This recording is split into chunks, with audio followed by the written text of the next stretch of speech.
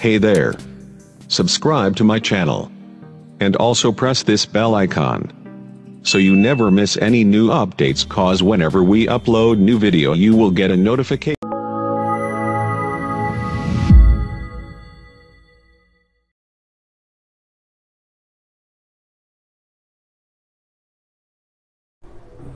ಪ್ರೀತಿಯ ಮುದ್ದು ವಿದ್ಯಾರ್ಥಿಗಳೇ ಆರನೇ ತರಗತಿಯ ವಿದ್ಯಾರ್ಥಿಗಳಿಗೆ ಈ ಶೈಕ್ಷಣಿಕ ವರ್ಷಕ್ಕೆ ಆ, ಸ್ವಾಗತವನ್ನು ಕೋರ್ತಾ ನಿಮ್ಮ ಪಠ್ಯಪುಸ್ತಕವನ್ನು ನಾನಿವತ್ತು ಪರಿಚಯ ಮಾಡಿಕೊಡ್ಬೇಕಂತ ಅನ್ಕೊಂಡಿದ್ದೀನಿ.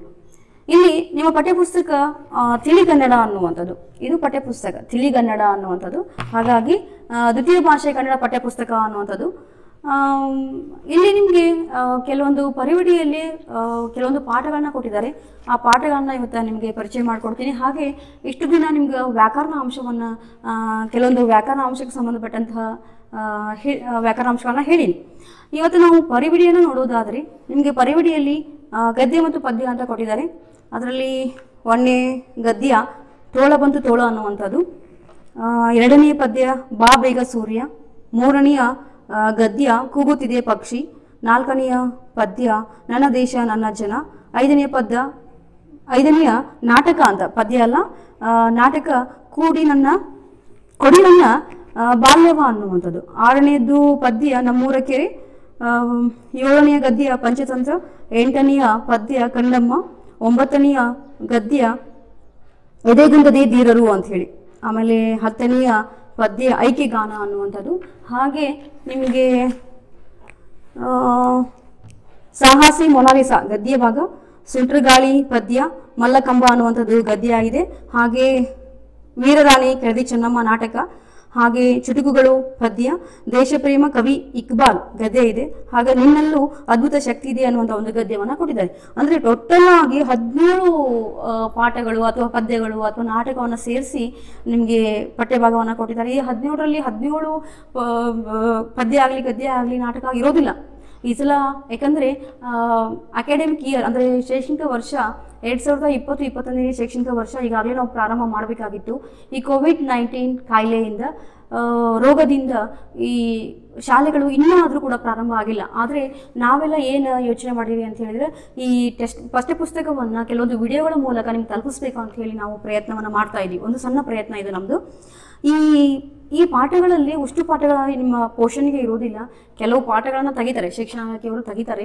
ಆ ತೆಗೆದಂಥ ಪಾಠವನ್ನು ನಾನು ನಿಮ್ಗೆ ಎಕ್ಸಾಮ್ಸ್ಗೆ ಇರೋದಿಲ್ಲ ಅಥವಾ ಪರೀಕ್ಷೆಗೆ ಇರೋದಿಲ್ಲ ಈಗ ಏಳ್ತ್, ನೈನ್ತ್, ಟೆಂತ್ ಅವ್ರಿಗೆ ಯಾವ ಪಾಠವನ್ನು ನಾವು ತೆಗೆದಿದ್ದೀವಿ ಅಂತ ಹೇಳಿ ನಮಗೆ ಒಂದು ಮಾಹಿತಿಯನ್ನು ಕೊಟ್ಟಿದ್ದಾರೆ. ನಾನು ಅವ್ರಿಗೆ ಯಾವ- ಪಾಠವನ್ನು ಕೈ ಬಿಡಲಾಗಿದೆ ಅಥವಾ ಪೋಷನ್ಗಿಲ್ಲ ಅಂತ ಆಗಲೇ ನಾನು ನಿಮಗೆ ಅವ್ರಿಗೆ ಹೇಳಿನಿ. ಆದರೆ ಟು ಸೆವೆಂತ್ ಅವ್ರಿಗೆ ಇನ್ನೂ ನಮ್ಗೆ ಯಾವುದೇ ಮಾಹಿತಿ ಸಿಕ್ಕಿಲ್ಲ. ಸಿಕ್ಕ ತಕ್ಷಣ ನಾನು ನಿಮ್ಗೆ ಯಾವ ಪಾಠವನ್ನು ತೆಗೆದಿದ್ದಾರೆ ಆ ಪಾಠವನ್ನು ನಿಮ್ಮ ಎಕ್ಸಾಮ್ಸ್ಗೆ ತೊಗೊಳೋದಿಲ್ಲ. ಹಾಗಾಗಿ ಇಲ್ಲಿ ನಾನು ನಿಮಗೆ ಇವತ್ತು ಇಷ್ಟು ಪಠ್ಯಪುಸ್ತಕದ ಕೆಲವು ಪಾಠಗಳು, ಪದ್ಯಗಳು ಮತ್ತು ನಾಟಕಗಳು ಅನ್ನುವಂಥದ್ದು. ಇಲ್ಲಿ, ನಿಮಗೆ ಮೊದಲನೇದಾಗಿ ಪೂರ್ವಸಿದ್ಧ ಪಾಠಗಳು ಒಂದು ಚಿತ್ರ ನೋಡಿ ಭಾವ ಸಂಬಂಧ ತಿಳಿಸಿ ಅನ್ನುವಂಥದ್ದು. ನೀವೇ ಅದನ್ನು ಯೋಚನೆ ಮಾಡಿ ಬರೀಬೇಕಾಗುತ್ತೆ. ಹಾಗಾಗಿ ಉಪಾಯ ಬಲ್ಲವನಿಗೆ ಅಪಾಯ ಇಲ್ಲೋ ಅನ್ನೋಂಥ ಕಥೆ ಕೂಡ ಕೊಟ್ಟಿದ್ದಾರೆ. ಹಾಗೆ ಇನ್ನೊಂದು ಚಿತ್ರ ನೋಡಿ ಘೋಷಣೆನ ಪೂರ್ಣ ಮಾಡಿ ಅಂತ ಹೇಳಿ. ಆ ಆ ಚಿತ್ರದಲ್ಲಿ ಏನಿದೆ ಅಲ್ಲ, ಅದಕ್ಕೊಂದು ಘೋಷಣೆನೇ ಬರಬೇಕು. ಟೈಟಲ್ ಅಂತ ಅದಕ್ಕೆ, ಇಂಗ್ಲೀಷ್ನಲ್ಲಿ. ಒಂದು ಟೈಟಲ್ ಕೊಡಬೇಕು. ಅದನ್ನು ನೀವು ಕೊಡೋದಿದ್ರೆ, ಈಗ ಫಾರ್ ಎಕ್ಸಾಂಪಲ್ ಹೆಂಡದ ಸಹವಾಸ, ಮಡದಿ ಮಕ್ಕಳ ಉಪವಾಸ ಅನ್ನುವಂಥದ್ದು. ಮುಂದೆ ಉಪವಾಸ ಅಂತ ಬರೀಬೇಕು. ಅರಣ್ಯ ಬೆಳೆಸಿ, ಜೀವ ಉಳಿಸಿ ಅನ್ನುವಂಥದ್ದು. ಹಾಗೆ ಶಾಲೆ, ದೇಗುಲ, ಮಕ್ಕಳೇ ದೇವರು. ಹೆಣ್ಣೊಂದು ಕಲಿತರೆ ಶಾಲೆ ಒಂದು ತೆರದಂತೆ, ಮುಂದೆ ತೆರದಂತೆ ಫಿಲ್ ಮಾಡಬೇಕು. ಹಾಗೆ ಸೈಕಲ್ ಬಳಸಿ ಇಂಧನ ಉಳಿಸಿ. ದುಡ್ಡು ದೊಡ್ಡಪ್ಪ ವಿದ್ಯೆ ಅದರಪ್ಪ. ನಿಮ್ಗೆ ಆಗಲೇ ಅದೆಲ್ಲ ಗೊತ್ತಿದ್ದಾವು ಆದರೂ ಕೂಡ ಗೊತ್ತಿದ್ದಾವೆ ಆದ್ರೂ ಕೂಡ ನಾನು ನಿಮ್ಗೆ ಹೇಳ್ತಾ ಇದ್ದೀನಿ. ನೀವೇನು ಮಾಡಬೇಕು ಅಂದರೆ ಅದನ್ನು ಫಿಲ್ ಮಾಡಿ, ನೀಟಾಗಿ ಬರೆದು ನಿಮ್ಮ ಫೇರ್ ಇಟ್ಕೊಂಡಿರಿ. ಇನ್ನು ಪಾಠ ಒಂದರಲ್ಲಿ ತೋಳ ಬಂತು ತೋಳ ಅನ್ನೋದನ್ನ ಒಂದು ಕತೆ ಕೊಟ್ಟಾರ. ಏನಂದರೆ ತೋಳ ಬಂತು ತೋಳ ಅನ್ನೋದು. ನಿಮಗೆಲ್ಲ ಚಿಕ್ಕ ವಯಸ್ಸಿನಲ್ಲಿ ನಿಮ್ಮ ಅಜ್ಜಿಗಳು ಏನು ಮಾಡ್ತಾರೆ, ಈ ಕಥೆಯನ್ನು ಹೇಳಿರ್ತಾರೆ. ಆದರೂ ಕೂಡ ಶಿಕ್ಷಣ ಇಲಾಖೆಯವ್ರು ಏನು ಮಾಡಿದ್ದಾರೆ ಅಂತ ಹೇಳಿದ್ರೆ ಶಿಕ್ಷಣ ಇಲಾಖೆ ಇಲಾಖೆಯವ್ರು ಏನು ಮಾಡಿದ್ದಾರೆ ಅಂತ ಹೇಳಿದ್ರೆ ಇದು ಮಾಡ್ಯಾರ. ನಿಮ್ಗೊಂದು ಕತೆ ಕೊಟ್ಟಿದ್ದಾರೆ. ಏನು ಕತೆ ಕೊಟ್ಟಿದ್ದಾರೆ ಅಂತ ಹೇಳಿದ್ರೆ, ತೋಳ ಬಂತು ತೋಳ ಅನ್ನುವಂಥದ್ದು. ಈ ತೋಳ ಬಂತು ತೋಳ ಅಂದರೆ ಇದರಲ್ಲಿ ಏನಿದೆ ಅಂತಂದರೆ ಒಬ್ಬ ಹುಡುಗ ಇರ್ತಾನೆ.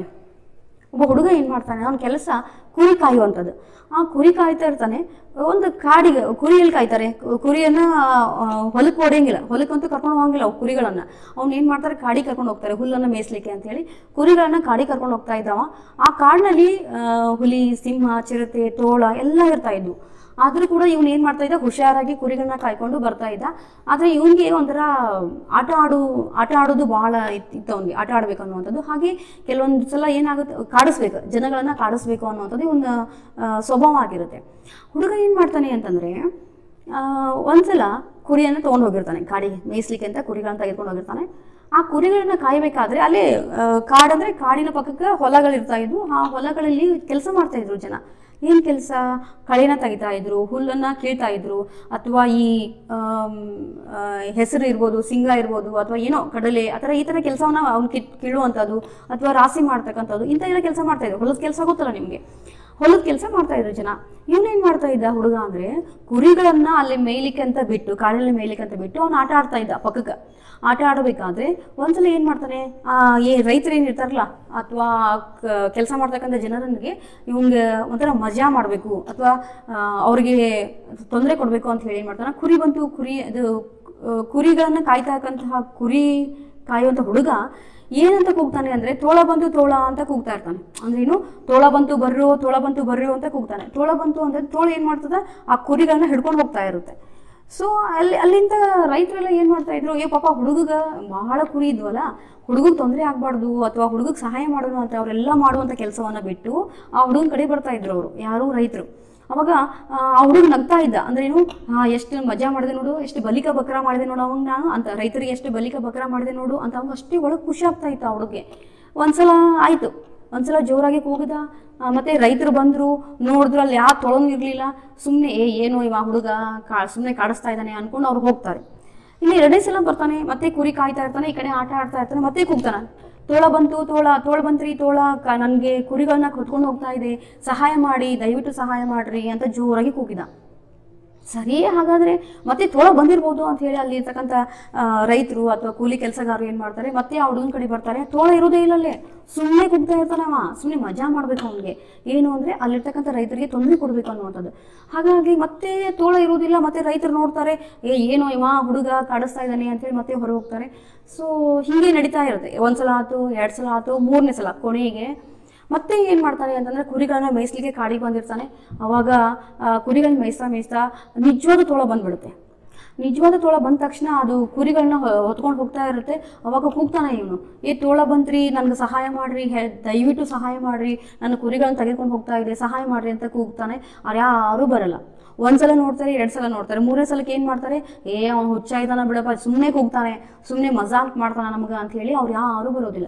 ಎಲ್ಲಾ ಕುರಿಗಳನ್ನ, ಆ, ತೋಳ ಹೊತ್ಕೊಂಡು ಹೋಗುತ್ತೆ. ಹಾಗಾಗಿ, ಎಷ್ಟೇ ನಾವು ಇದರಿಂದ ನಾವು ಏನು ತಿಳ್ಕೊಬಹುದು ಅಂತಂದ್ರೆ ಯಾವತ್ತಲೂ ನಾವು ಒಂಥರ ಮಜಾ ಮಾಡುವಂಥದ್ದು, ಅಥವಾ ಯಾರಿಗಾರು ಕಾಡಿಸುವಂಥದ್ದು ಅಥವಾ ಕಿಂಡಲ್ ಮಾಡುವಂಥದ್ದನ್ನು ಮಾಡ್ತಿರ್ತೀವಲ್ಲ, ಅಥವಾ ಕೀಟಲೆ ಮಾಡುವುದನ್ನು ಮಾಡ್ತಿರ್ತೀವಲ್ಲ, ಅದನ್ನ ಪದೇ ಪದೇ ಪದೇ ಮಾಡ್ತಾ ಹೋದರೆ ನಮ್ಗೆ ಮೋ, ಇದು ಇರೋದಿಲ್ಲ ವ್ಯಾಲ್ಯೂ ಇರೋದಿಲ್ಲ. ವ್ಯಾಲ್ಯೂ ಅಂದ್ರೆ ಏನು ಬೆಲೆ ಇರೋದಿಲ್ಲ ಹಾಗಾಗಿ ನಾವು ಭಾಳ ಅಂದ್ರೆ ಒಂದ್ಸಲ ಮಾ, ಒಂದ್ಸಲ ನೋಡಿ ನಗ್ತಾರೆ. ಎಲ್ಲರೂ ಖುಷಿ ಪಡ್ತಾರೆ, ಎಲ್ಲರೂ, ಏ, ಏನು ಅವ್ನು ಎಷ್ಟು ಮಜಾ ಮಾಡಿದ? ಅಂತ. ಎರಡನೇ ಟೈಮ್ ಎರಡನೇ ಸಲ ಮಾಡಕ್ ಹೋದ್ರೆ ಏನು ಮುಚ್ಚದನು ಅವ? ಅಂತಾರೆ. ಮೂರನೇ ಸಲ ಮಾಡಿದ್ರೆ ಯಾರು ನಮ್ಗೆ ತಿರುಗಿನೂ ನೋಡೋದಿಲ್ಲ. ಹಾಗಾಗಿ ಪದೇ ಪದೇ ಪದೇ ನಾವು ಕಿಂಡಲ್ ಮಾಡುವಂಥದ್ದು ಅಥವಾ ಕೀಟಲೆ ಮಾಡುವಂಥದ್ದು ಅಥವಾ ಕಾಡಿಸೋದು ಈ ಥರ ಮಾಡಿದ್ರೆ ಯಾರು ನಮ್ಗೆ ಬೆಲೆ ಕೊಡೋದಿಲ್ಲ ಅನ್ನುವಂಥದ್ದು ಈ ತೋಳ ಪಾಠದ ಮೌಲ್ಯ. ಈ ನಿಮಗೆ ಈ ತೋಳ ಬಂತು ತೋಳ ಪಾಠದಲ್ಲಿ ಕೆಲವೊಂದು ಇದನ್ನ ಪ್ಯಾರಾಗ್ರಾಫ್ ಟು ಓದಿ ನಾನು ನಿಮಗೆ ಅರ್ಥವನ್ನು ನಾಳೆ ಮುಂದಿನ ತರಗತಿಯಲ್ಲಿ ಹೇಳ್ತೀನಿ.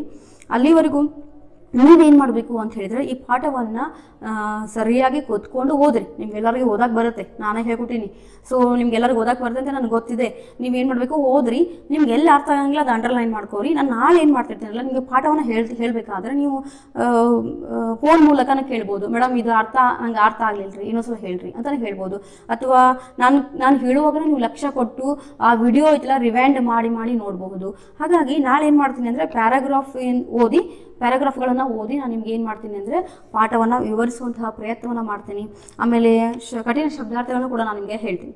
ಹಾಗಾಗಿ ಇವತ್ತು ನಿಮಗೆ ಈ ಆರನೇ ತರಗತಿಯ ಪಠ್ಯಪುಸ್ತಕದ ಪರಿಚಯವನ್ನು ಮಾಡಿಕೊಟ್ಟಿನಿ. ಮೊದಲನೆಯ ಪಾಠ ತೋಳ ಬಂತು ತೋಳ ಅದರ ಸಣ್ಣ ಕಥೆಯನ್ನು ಕೂಡ ಹೇಳಿದ್ದೀನಿ ನಾಳೆ ದಿನ ಸವಿಸ್ತಾರವಾಗಿ ವಿವರಿಸಂತ ಹೇಳ್ತಾ ಇವತ್ತಿನ ತರಗತಿಯನ್ನು ಮುಗಿಸ್ತಾ ಇದ್ದೀನಿ. ಧನ್ಯವಾದಗಳು.